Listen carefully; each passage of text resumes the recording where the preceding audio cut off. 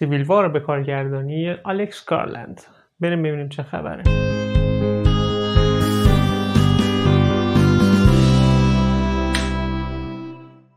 جنگ داخلی رو آلکس گارلند کارگردانی کرده. آلکس گارلند دو تا فیلم رو ساخته که جزو فیلم های محبوب منن. یه دونش فیلم فراماشین و یه دونه فیلم نابودی که جفتشون هم مضامین تخیلی داشتن که از فیلم های خوب اون سال بودن. برای همین انتظار داشتم که فیلم جنگ داخلی یک فیلم جذابی باشه اما حقیقتا فیلم خیلی فیلم جو فیلم متأثر از شرایط جامعه آمریکا در چند سال اخیر ساخته شده و واقعا فیلم بدیه. بزرگترین مشکل فیلم جنگ داخلی اینه که خیلی فیلم محافظه کاریه خب داستان فیلم در مورد جامعه آمریکاست که دچار چند دستگی شده و یه جوری داره جنگ داخلی رو تجربه می‌کنه. خب ما می‌دونیم که بعد از ماجرای ترامپ و بایدن یک سری اختلافات داخلی در آمریکا اتفاق افتاد و همین باعث شده که این سوژه دست کارگردان و در واقع سازندگان فیلم جنگ داخلی بیفته که آقا اگه این جنگ داخلی بزنه بالا یه دفعه منجر به یک آشوب همگانی بشه چه اتفاقی میفته سوژه فیلم متاسفانه فراتر از همین تعریف یه خطی نمیره. فیلم فاقد جزئیاته محافظه کاره همون معضلی که الان تو سیاست آمریکا باش مواجه هستن. که نمی‌دونه چی می‌خواد بگه. ما اصلا نمی‌دونیم این جنگ داخلی برای چی داره اتفاق میفته ما اصلا هیچ جزئیاتی رو متوجه نمیشیم. منطق داستانی اصلا وجود نداره. اینکه چرا یه دفعه ارتش آمریکا پا پس می‌کشه؟ چطوری ارتش آمریکا از پس یکی دو تا ایالت بر نمیاد. و مسائل دیگه مسائلی که شاید اگر توضیح خوبی در موردش داده می‌شد علیرغم اینکه مدت زمان فیلم دو ساعته. اگر توضیح مناسبی در مورد این مسائل داده می‌شد شاید می‌شد گفت فیلم فیلم خوبیه. اما آنچه که الان داریم چیه؟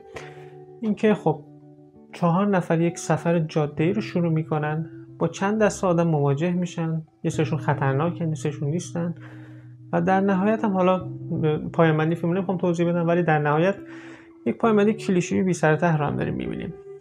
متاسفانه جنگ داخلی نمی‌تونه صحبت کنه. قادر نیست صحبت کنه. بعضی موقع پیام هایی که میده زیادی واضح و درشته یک سکانسی در فیلم وجود داره عواستش که اینا گیر یه بنده خدا میفتن که خیلی آدم خشون و بیرحمیه. عینک این بنده خدا رنگ قرمز رو داره.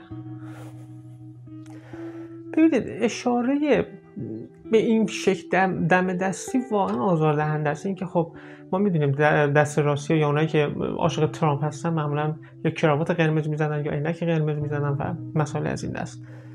اشاره به این افراد بدونی که مستقیم می‌خوای بهشون اشاره کنی واقعا در فیلم زننده است. خیلی مبتذله. به این شکل نمی‌تونه جلو بره. میگم فیلم فیلمیه که خودش گوشه وایساده پشت خبرنگاره در قایم میشه. میگه من قضاوت نمی‌کنم. مثلا نمیگم کی درست میگه کی غلط. اینا دارن تو سر کله هم دیگه می‌زنن. من گوشه وایسادم و صرفا دارم ثبت می‌کنم خشونت جنگ رو. ولی حتی از پس همینم بر نمیاد. یعنی که درسته در جای جای فیلم می‌خواد از طریق عکسی که اون دوستان خبرنگار می‌گیرن بگه که خب این خشم عمومی این در نهایت منجر به یک نزاع و درگیری بزرگ میشه. اما یه گوشه وای نمیسه.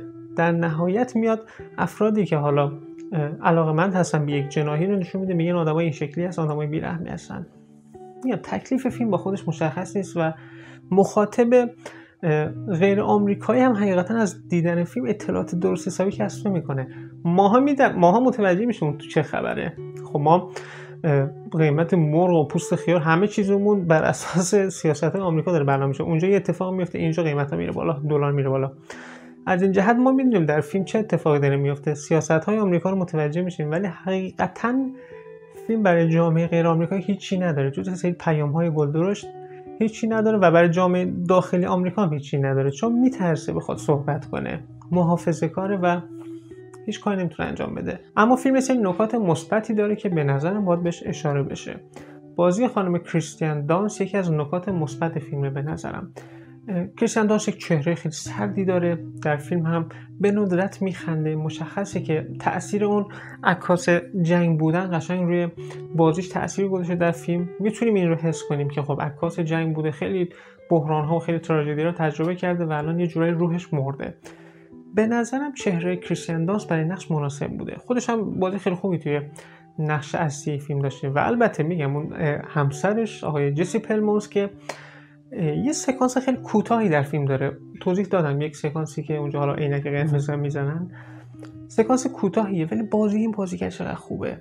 اصلا یکی از بازیگران خوب هالیوودی تو این چند سال گذشته. خیلی بهش اهمیت داده نشده متاسفانه. ولی واقعا آقای به نظر یکی از بهترین بازیگرای حداقل یک دهه اخیر تو هالیوود بوده. خیلی کم بهش توجه شده خیلی کمتر در موردش صحبت شده. ولی به نظرم شایسته این هست که بیشتر بهش توجه بشه. به نظرم واقعا بازیگر خوبیه.